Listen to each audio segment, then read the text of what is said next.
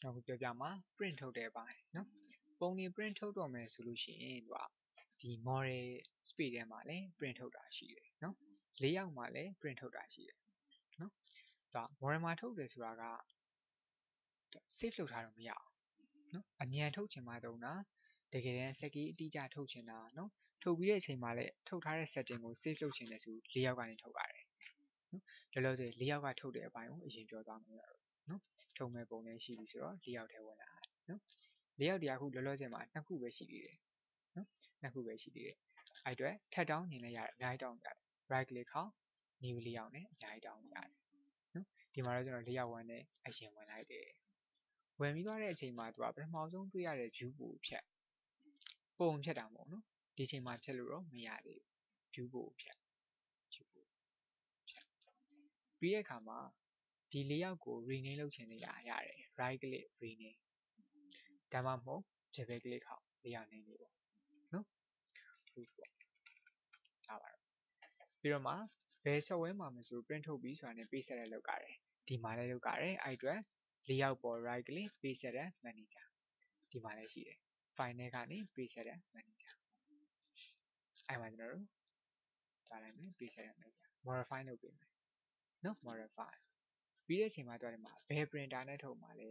ကျွန်တော်တို့ Canon Epson ချိန်ထားမယ်ဆို Canon Epson ဖြည့်ပြီးတော့ printer driver တင်ထားတယ်ဒီမှာတော့ဘာမှချိန်မထားတဲ့အတွက်ကျွန်တော်အာ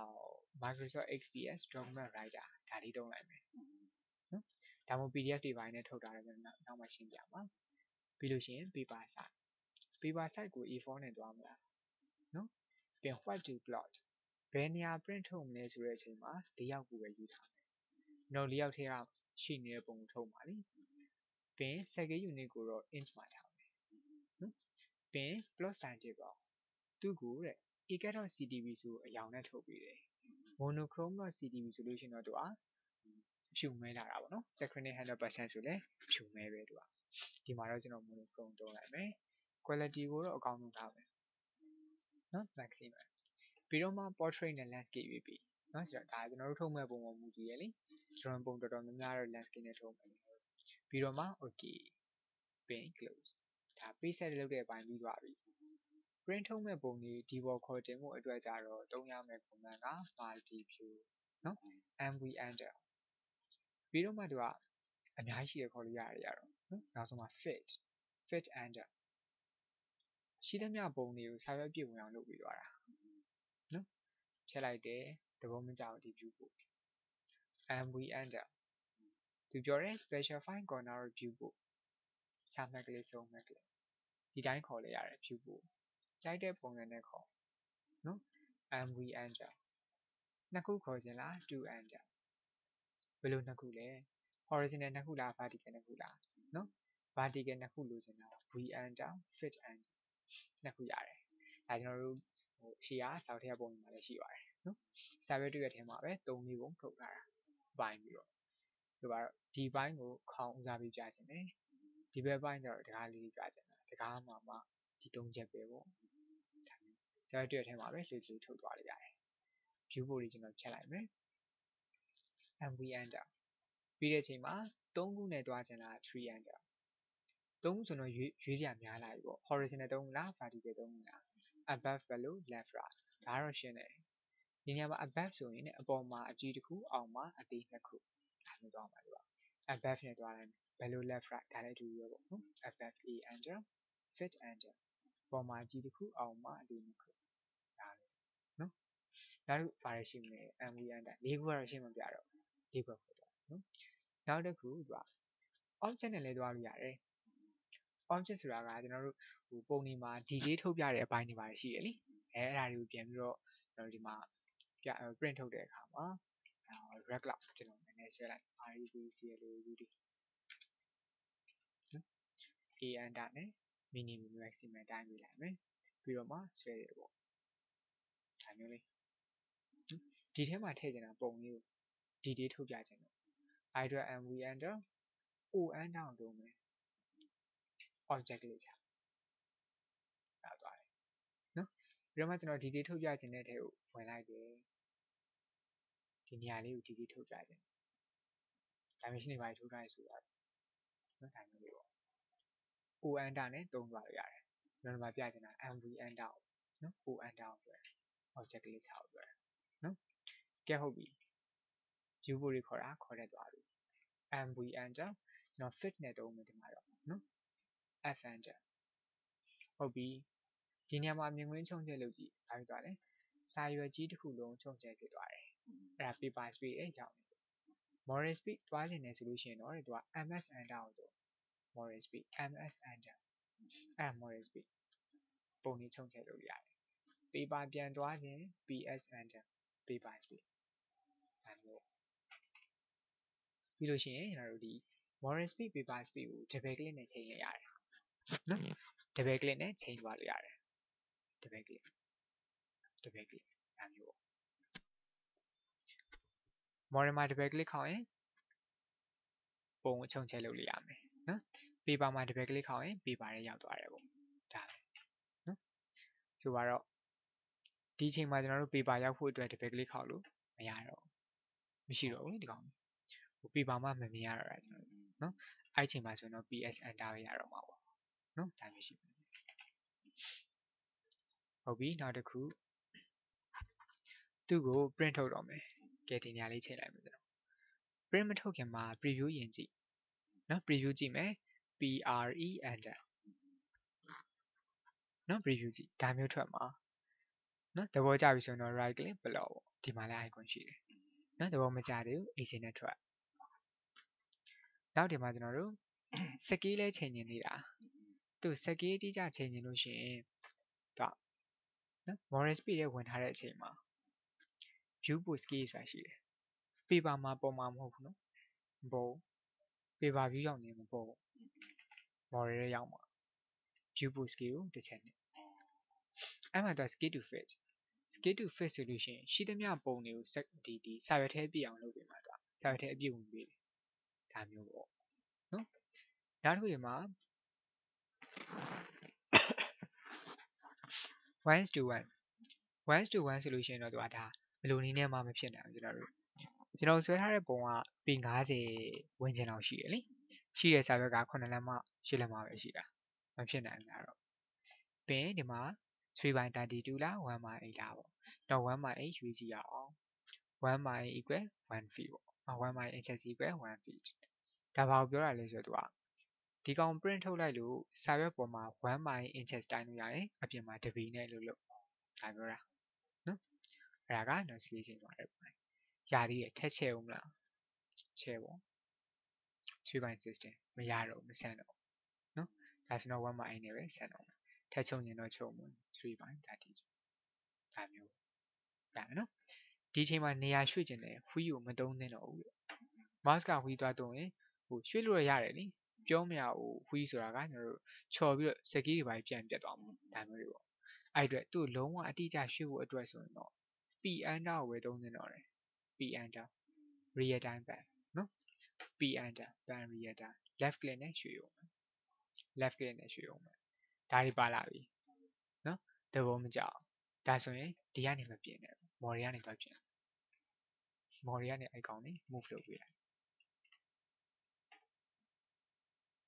ဒါပဲ ရမယ်နော် ski ကတော့ one by equity ပဲပြီးမှ preview ကြည့် pre enter ဒါမျိုးလေးပေါ့ print ထုတ်မယ်ဆိုတော့ right click plot ဘယ်နေရာသိမ်းမှာလဲ printer ထဲမှာတန်းချိန်မဲ့ထားတာကျွန်တော်တို့နော်အဲ့တော့ဘယ်နေရာသိမ်းမလဲ desk ဆိုတော့ကျွန်တော်တို့ documents လေးပဲတင်လိုက်တော့မယ် sample print နော်ပြီးတော့မှ save ပေါ့ဟာပဲနော်ထပ်ပါပဲ သူပြန်ပြီးတော့ open လုပ်ကြည့်ပါကျွန်တော် documents ထဲက sample print နော် XPS viewer နဲ့ကြာလာလိမ့်မယ်။အဲကြိုက်တဲ့ဆက်မှာ copy ကူပြီးသွားထုတ်လို့ရပြီ။နော်စကီလည်းချိန်ပြီးသား။ဒါလေးပါဒီပါ။နောက်တစ်ခုကကျွန်တော်တို့ဒီနားမှာ title block လုပ်ချင်နေတယ်။နော်ကျွန်တော် CV တင်တဲ့ form ဒီ engineer နဲ့ owner နဲ့နော်အများကြီးပါတယ်စက်ကီဘယ်လောက်နဲ့ထုတ်လာတာပါညာ။အဲဒီကောင်တွေထည့်ဖို့အတွက်ကြတော့ကျွန်တော်တို့ print ထုတ်ပြီးဆိုတာနဲ့စာတွေပဲထည့်ရရိုက်ပုံတွေပဲထည့်ဆွဲဆွဲ paper မှာပဲဆွဲမယ်ကျွန်တော်တို့ model မှာတော့မဆွဲဘူးကျွန်တော်တို့ထုတ်တဲ့ပုံက 3D ပုံလည်းဖြစ်ချင်းဖြစ်နေပါလိအဲ့အတွက် paper မှာပဲလုပ်လို့မယ်နော် paper view ဝင်လိုက်တယ်ပြီးတဲ့အချိန်မှာ line လေးကြောင်ဆွဲရတယ်ဒီကနေဒီထိ sorry line မဆွဲခင်မှာ rectangle တွေကိုရင်ဆွဲမယ် title block ပုံလေးပေါ့ နော်တခုနဲ့တခုကတော့မတူကုမ္ပဏီကွာကွာတာနဲ့တော့မတူဆိုတော့ပုံပေါ်လဲမူတည်တယ်အောက်မှာထားရလဲရှိတယ်နော်ဒါလေးတော့ဒီဘက်ဘေးမှာထားရလဲရှိတယ်ပုံပေါ်လဲမူတည်တယ်နော်ဆွဲလိုက်တယ်ဆိုရင်ဒါမျိုးလေးပေါ့နော်လွယ်လွယ်ဆွဲတာတော့ပြီးတော့မှ line လေးထပ်ဆွဲတယ်ဒီနေ့ copy ကူးတယ်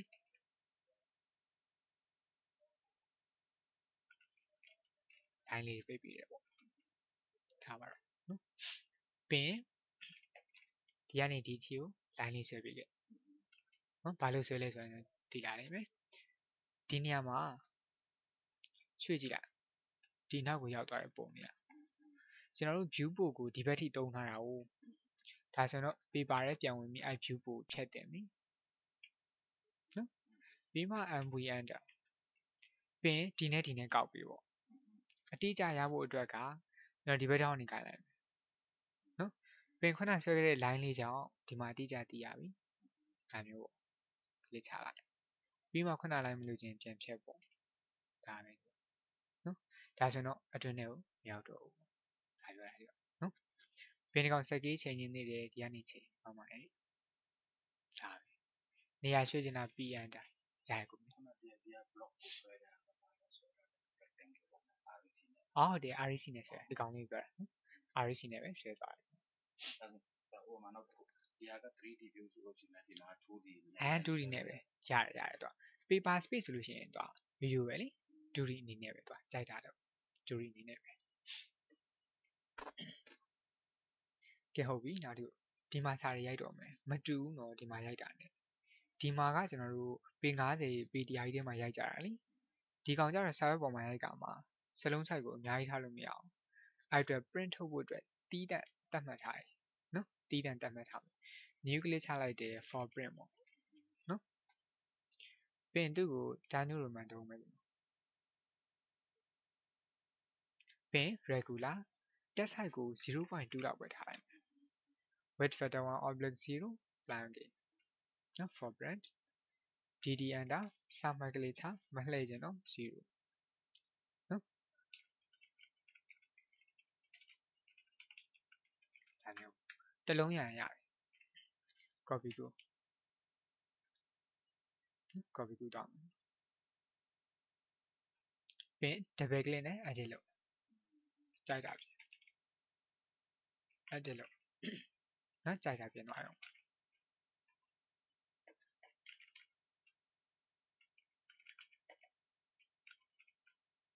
ဒါပဲတော့ရမယ်နော်ပြီးဒီမှာ label ထိုးခြင်းသေးလားနော် copy လာကူးပြလိုက် double click နဲ့ဟုတ်တာပဲ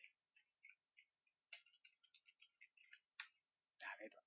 နော် underline တားခြင်းသေးလားနော်စလုံးရပြီးသွားရင် underline တားခြင်းတယ်နော် line နေတာဆွဲပြလိုက်ကျုပ်နေတယ်ပေါ့ copy ကူဒါမျိုးပေါ့နော်ရမလားနော်ဒီကောင် preview ကြည့်ကြည့် PRE enter ဒါမျိုးလေးပေါ့ ကွက်ကြည့်ပဲ right click လုပ်နဲ့ထုတ်သွားရုံနော်နောက် override လုပ်လိုက်မယ်ဒီကောင် share ပေါ့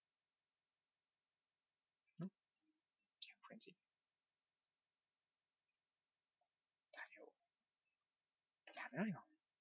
ဒါက print ထုတ်တဲ့အပိုင်း print ထုတ်တဲ့အခါမှာဆိုပါတော့ကျွန်တော်တို့ဟောအခုဆွဲထားတဲ့ plan က A4 A4 စာရွက်နဲ့ဘယ်လိုမှအဆင်မပြေဘူး A3 ဒီပိုင်းထုတ်ကြတာပေါ့ဒါဆိုကျွန်တော်တို့သုံးတဲ့နော်ဒီ printer အသေးနဲ့ဘယ်လိုမှမရတော့ဘူးလीစိုင်သွားထုတ်အောင်အဲ့အတွက်စကီးကလည်းချိန်ရသေးတယ်ဆိုလို့ရှိရင်တော့တဲ့ဒါ PDF file အဖြစ်ပြောင်းသွားတယ်နော် PDF ပြောင်းနည်းကကျွန်တော်တို့ပထမဆုံး page setup လုပ်တယ် rename လုပ်လိုက်အောင်မယ်နော် right click page setup manager modify printer နေရာမှာသူက dwg2 pdf ကိုရွေးနော် dwg2 pdf ပြီးမှသူကဒီမှာ adobe pdf တွေပါလည်းရှိတယ်နော်မတူမတူဆိုတာကသူက adobe pdf နဲ့ထုတ်လို့ရှိရင်လည်း pdf file ထွက်တာပဲ dwg2 pdf ဆိုလည်း pdf file ထွက်တာပဲဘာကွာသွားလဲဆိုတော့ JWG2 PDF နဲ့ထုတ်လိုက်တယ်ဆိုလို့ရှိရင် PDF file ဖြစ်ပြီးသွားတော့မှတယ်လီယာချင်းတွေဖွင့်ပေးလို့ချင်းလားလုပ်လို့ရတယ်။အော် PDF ဆိုလို့ရှိရင်တော့လုံးဝအပြားလိုက်ပဲဆိုထွက်သွားမှာ။ နော်ဘာမှပြင်လို့မရတော့။နော်ဒီကောင်တော့ပို့ပြီးအားသာချက်ရှိတယ်။ paper size ရွေးတဲ့အခါမှာလည်းစုံစုံနေနေရွေးလို့ရတယ်။နော် paper size ရွေးတဲ့အခါမှာကျွန်တော် A4 ရွေးချင် A4 ဟုတ်ပြီ A4 A4 မှာလည်းအများကြီးရှိတယ်။နော်ဒါလည်း A4 ပဲ ISO full plate နော် A4 ဒါမျိုးသွားလုံးဝဟိုဘေးနားမှာပိုနေတဲ့နာတာလုံးဝမရှိဘူးနော်ဒီကောင်မျိုး ISO full plate နောက်တစ်ခု နောက် A4 ရှိသေးတယ်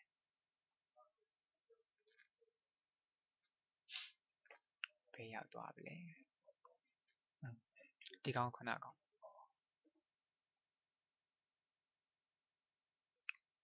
အော်ဒီမှာ ISO A4 ဒီကောင်တွေကျတော့ဘေးနားမှာသူကနေရာလွတ်တွေပါတယ်အဲကြောင့်မလိုအပ်ဖဲနဲ့ကျွန်တော်တို့ဒီဒီအလကားဖြစ်သွားတာပေါ့အဲ့နေရာတွေကနော်အဲဒီလိုချင်းစာရွေးတဲ့အခါမှာကျွန်တော်တို့အာ full plate A4 နော် ပြီးတော့မှ what to plot တော့ layout ပေါ့ scale နဲ့ကို inch ပင် plus time table မှာကျွန်တော်အယောင်နဲ့ထုတ်မယ်ဒီခါတော့ဒီက quality ကိုအကောင်းဆုံးထားလိုက်မယ်နော် landscape နဲ့ထုတ်မယ် okay နော် close ပင် and we enter fit နဲ့ပဲကျွန်တော်ထုတ်လိုက်တော့ဒီခါ plan လေးထုတ်ချင်တာဟော plan အယောင်မပေါ့ဒါပဲထုတ်နော်ပင်ဒီကနေစကီ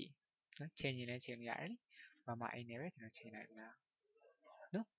ကြည့်ပြပြ skill မှာကိုကြိုက်တဲ့ skill ကိုရိုက်ထည့်လို့ရတယ်နေလားကြိုက်တဲ့ skill ကိုရိုက်ထည့်ဖို့အတွက်ကြတော့ကျွန်တော် option တင်လို့ရှိရင်တော့ပြောပြမယ်အဲ့ပိုင်းနဲ့နော် custom နဲ့လည်းသွားလို့ရတယ်နော်ဒီညမှာကျွန်တော် custom ပြောလို့ရရတယ်ဗျနော် option ပိုင်းရောက်လို့ရှိရင်ပိုကောင်းတယ်ပြောရတာ option ထဲမှာလည်းပါတယ်နော်ဒီကောင်ပြောပြမယ်ကျွန်တော် edit လည်းလုပ်လို့ရတယ်အဲဒီမှာဆိုတော့ print ထုတ်တော့မယ် preview ကြည့်မယ် pre enter ဒါမျိုးပေါ့နော် preview ကြည့်တော့မယ် preview ကြည့်ပြီးသွားတဲ့အချိန် right click plot ခုနပုံစံမျိုးဒီမှာဇာတ်ဆိုအားရတာပေါ့အတူတူပဲလေအတူတူပဲဒီကောင်ဟုတ်ဆိုပါတော့ကျွန်တော်တို့အာ paper speed တွေဝင်လိုက်တယ် RC enter rectangle လေးဆွဲတယ်ပေါ့ဒါမျိုးလေးတော့နော်ဒါတော့ကိုကိုလူတွေလောက်ဆွဲပေါ့ပင် line လေးဆွဲလိုက်တယ် copy ကူးတယ် line ဆွဲတယ်ဒီနေ့ဒီ ပြီးတော့မှစာရရတယ် DD enter နဲ့စာရရတယ် copy ကူး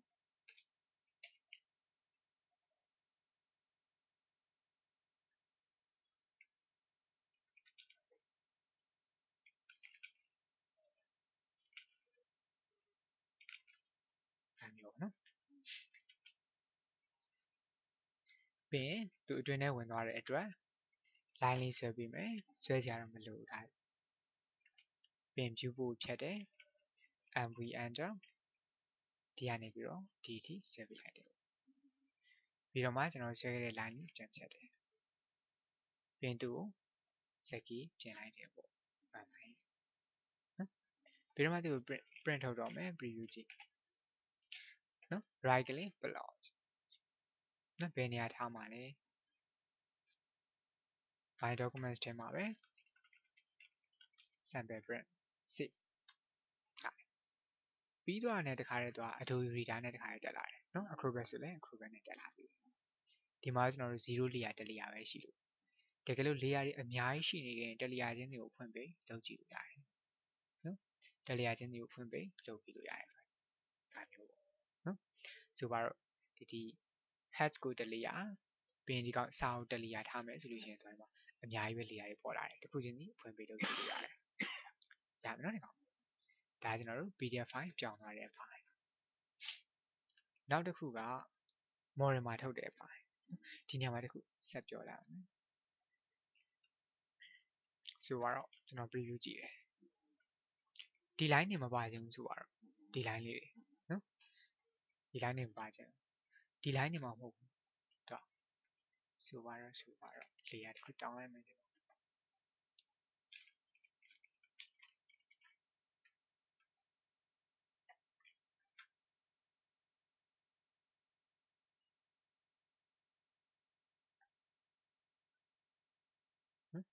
သူတို့ကို furniture နဲ့ဆွဲထည့်လိုက်မယ်ဒီမှာကျွန်တော်ဒီကောင်လေးထုံမယ်ပေါ့ preview ကြည့်ကြည့် အကုန်ပါတယ်နိဒါအဲ့ကောင်လေးဖြောက်ပြီးထုတ်ချင်တာနော်အခု preview ကြည့်လိုက်ရင်အကုန်ပါတဲ့အတွက်ဖြောက်ထုတ်ချင်တာ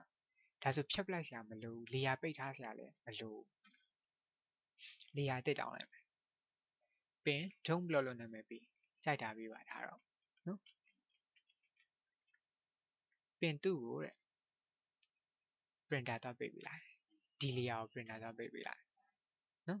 ပြီးလို့ရှိရင်ကျွန်တော်တို့မပါစေခြင်းတဲ့ object တွေ select ပေးပြီးတော့ အဲ့ဒီ layer နဲ့ဆွဲထည့်ပေးလိုက်နော်အပြင်မှာသွားလိုက်ရတယ်မပါစေခြင်းတဲ့ object တွေ select ပေးပြီးအဲ့ဒီ don't block ဆိုတဲ့ layer နဲ့ဆွဲထည့်ပေးလိုက်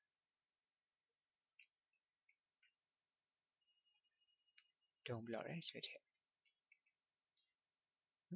ဒီအချိန်မှာတော့တွေ့နေရမှာပဲ preview ကြည့်ကြည့်သူတို့မပါတော့ဒါမျိုးပေါ့နော် right click floor နဲ့ထုတ်သွားရုံ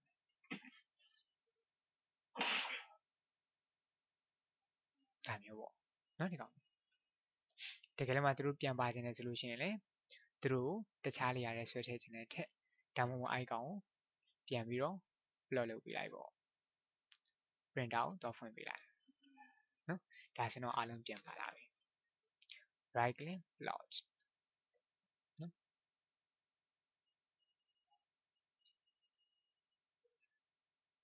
yes နော်ပွင့်လာပြီ ဒါဆိုနှစ်ခုဖြစ်သွားပြီဒါတုံးဘလော့လေးရဒါက0လေးရရမလားနော်ဒီကောင်ဒါကဒီစီလေးယောက်နဲ့ပတ်သက်တဲ့အပိုင်း model မှာထုတ်တာကြတော့အရန်လွယ်တယ် control p block နော် file ထဲကနေ block ဒါပဲဒီနော် plot model ဆိုတဲ့ dialog box ကြားတဲ့အခါမှာ printer ရွေးဘယ် printer နဲ့ထုတ်မှာလဲနော် Adobe PDF နဲ့ထုတ်မှာလား Adobe PDF paper size ကို A4 ယူလိုက်မဟုတ်ပြီ Word to plot မှာ window ရွေးတင်တယ်နော် display ဆိုလို့ရှိရင်လည်းတွေ့နေရတဲ့ဘိုင်းကုန်ထုတ်ပါလေ window window ရွေးလိုက်ပြီဆိုတာနဲ့ဘယ်ဘိုင်းထုတ်ချင်လဲဒီဘိုင်းထုတ်ချင်တာဖိုက်ပြီ fit to paper ဖွင့်ထားမယ်ဆိုလို့ရှိရင်သူကတော့ fit တင်ကြပြီလားနော် fit to paper ဖြုတ်လိုက်မယ်ဆိုတော့အနေချင်းရွေးလို့ရတယ်စကီးတွေပါတယ်နော်ဘာမှလေ ကြော်နေပြီပြန်ကောက် window တစ်ချက်ကလေးပြန်ကောက်ဒါမျိုးပြန်ကောက်ဒါမျိုး fit to paper ဆိုလို့ရှိရင်တော့ချိန်ပြီးသွားတယ်တူတယ်လိုက်တယ်အသေးသေးကျုံအတွက်က more option နဲ့ဝင်ပြင်လို့ရတယ်နော်ဖြူမဲနဲ့ထုံမလား yes quality ကိုအကောင်းဆုံးထားနော် landscape preview ကြည့်ဒါမျိုးပေါ့ right click block နော် save တခါတည်းထုတ်ပြီးသွားတယ်ဒါ DWG2 PDF နဲ့ထုတ်တာမဟုတ်ဘူးနော် Adobe PDF နဲ့ထုတ်ကြည့်တာကျွန်တော်တို့နော်ကွာတယ်ကျွန်တော်ဒီမှာကျွန်တော်စာ DWG to PDF နဲ့ထုတ်လို့မရဘူးရတယ်လေရတယ်ရတယ်အဲဒီကောင်သူက Adobe PDF နဲ့ဖြစ်သွားတဲ့အတွက်တလျာချင်းတွေမကွဲတော့ခုနလည်းမဟုတ်တော့ဘူးနော်အဲ့ဒါကွာတယ်ခုနကတော့ဆိုလို့ရှိရင်တလျာချင်းတွေကို edit ပြန်လုပ်လို့ရတယ်လေဒီမှာလုပ်လို့မရတော့ နော်အဲ့ဒီအားနည်းချက်ရှိတယ်ဒါဒီ model ဘိုင်းမှာ print ထုတ်သွားတဲ့အပိုင်း control P ဆိုပြီးတော့တုံသွားရုံပဲနော် paper size ရွေးတယ် printer ရွေးတယ် web to plot မှာ window ရွေးတယ်ပေါ့နော် window ရွေးပြီးတော့တွေ့လို့ချိန်ထုတ်သွားတာဒါပဲနော်ဒါက print ထုတ်တာနဲ့ပတ်သက်တဲ့အပိုင်း